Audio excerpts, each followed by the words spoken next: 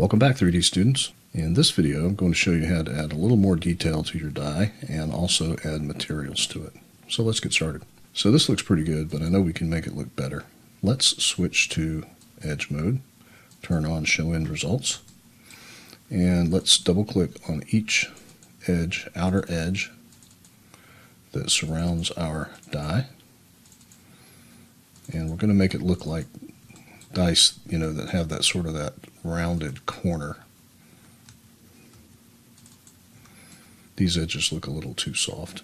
Make sure you have every outer edge selected. You can double click on it to select it. And then we're going to go up two edges again. And let's crease these edges a little bit. Less than one, maybe point, 0.07 seems to be a good number.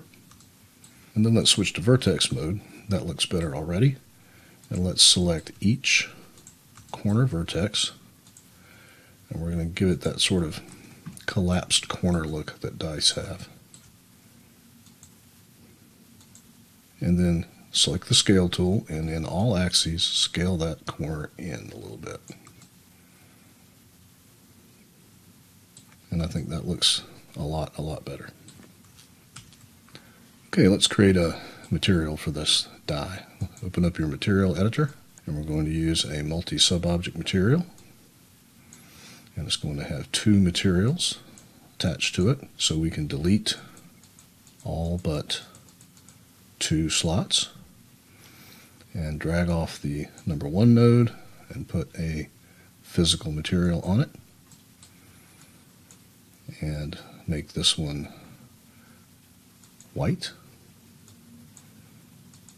and you can leave it shiny because dice are shiny and then collapse it and then we can hold down shift and move it and copy that material and connect it to the number two slot.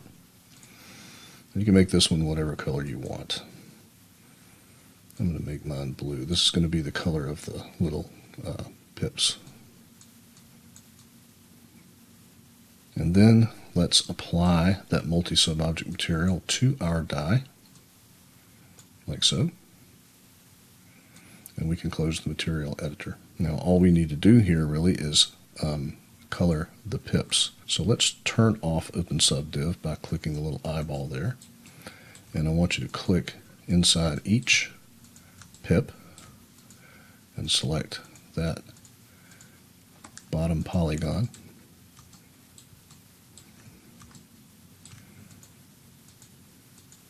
Confirm that you've got them all selected, and then grow the selection like so. Now all of these polygons should be number 2. Material ID is right here. Now I'm going to invert the selection because I've got this side here that's not white. I'm going to go to Edit, select Invert. I'm going to make sure everything else is number 1. And then, for good measure, I'm going to select all my polygons, clear the smoothing groups, and put them all in smoothing group number one. And then we can turn on Open Subdiv. And there you go.